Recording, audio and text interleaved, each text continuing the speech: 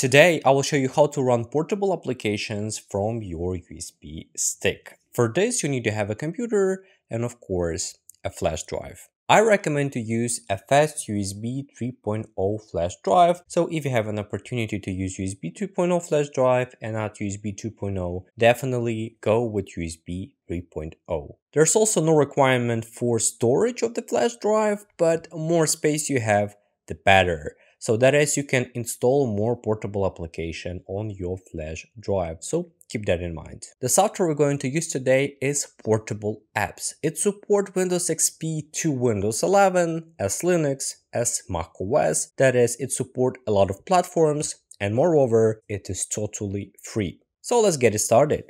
First of all, you need to open your browser and type Portable Apps. Then you need to navigate to this website. Link I will leave in the video description. On this page, scroll down a little bit and select Download from portableapps.com. After that, the installer will automatically download to your computer. Before you start installing portable apps, I recommend first inserting the USB drive inside the laptop. To make it work smoothly, we will format all our data from current USB stick. Nothing complicated here. Now we can double click on the X file and go through the installation process. Agree to all terms and conditions. Now in this window select New Install and click on Next.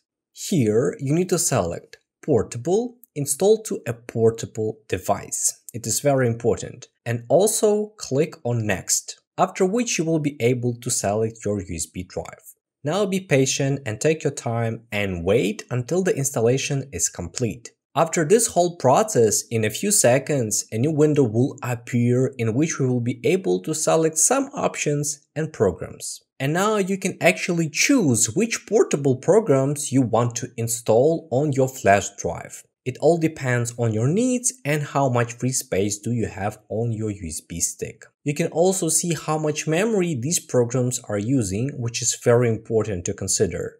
In short, here you can find any program for any need. Antivirus, video editor, or even a game. It all depends on you. It is also worth understanding that depending on how many programs you will choose, the download and installation time will be longer. That is, fewer programs faster. More programs take more time. That said, you need to be patient again and wait for everything to download and install. During installation, you will probably have to agree to the terms and conditions several times. It all depends on the apps you selected. Then there will be a window with a happy message and you just need to click finish. You can insert the USB stick into your laptop or PC and use all the programs you have created. To do this, just click on your flash drive and go to the portable apps folder or click on start. In the first and the second cases, you will have access to portable apps. Simply through Start, you will do this by the menu that will appear in the lower right corner of the desktop.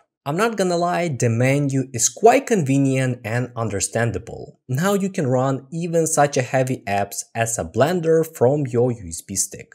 Everything works without any problem or issues. If this video was helpful, please like it and I recommend watching this video on how to upscale video for free.